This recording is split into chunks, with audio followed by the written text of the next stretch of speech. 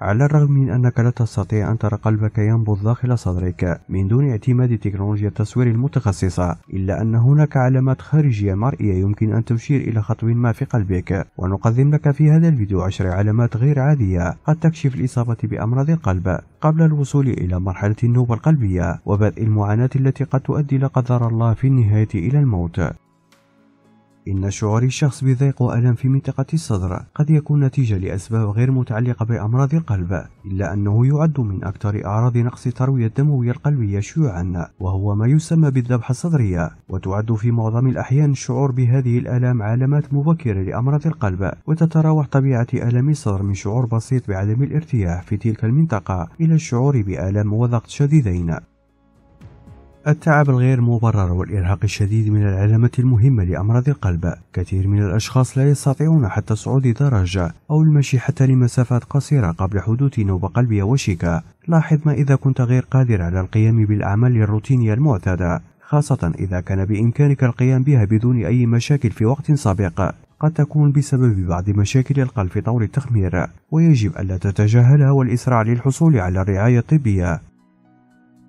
تشهد أظافر اليدين في هذه الحالة تغيرا حيث تصبح أكثر كثافة وأكثر اتساعا وذلك بسبب إنتاج المزيد من الأنسجة وعادة ما يكون التغيير غير مؤلم ويحدث في كلتا اليدين. وهذا التغيير يشير إلى مشاكل في القلب لأن الدم المؤكسج لا يصل إلى الأصابع بشكل صحيح وبالتالي تنتج الخلايا عاملا يعزز النمو في محاولة لتصحيح المشكلة.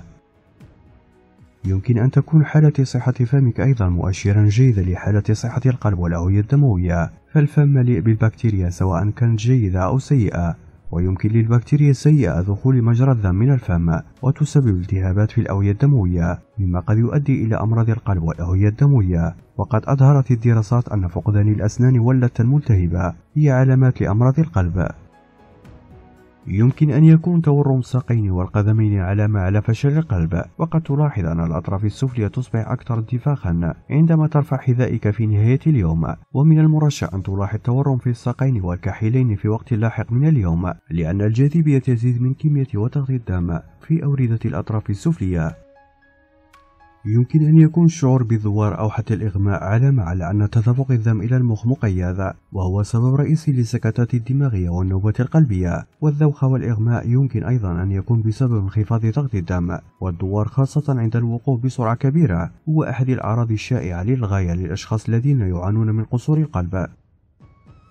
السعال المستمر ليس دائما علامة على أن قلبك يعاني من مشكلة إلا أنه من الأعراض الشائعة للعديد من الأمراض مثل البرد والإنفلونزا والتهاب الشعاب الهوائية. ويمكن أن يكون السعال الذي لا ينتهي علامة على تراكم السوائل في رئتيك وهو علامة على قصور القلب الاحتقاني.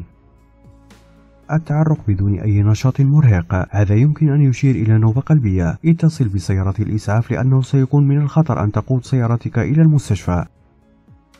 عادة ما تكون الشفاه حمراء ولكن يمكن أن تأخذ لونا يميل إلى الأزرق. في الأشخاص الذين يعانون من مشاكل في القلب وذلك بسبب فشل نظام القلب والأوعية الدموية لتوصيل الدم المحمل بالأكسجين إلى الأنسجة. والجدير بالذكر يمكن أن تصبح الشفاه زرقاء بسبب البرد الشديد أو نقص مؤقت في الأكسجين وهي مشاكل يمكن حلها بسرعة.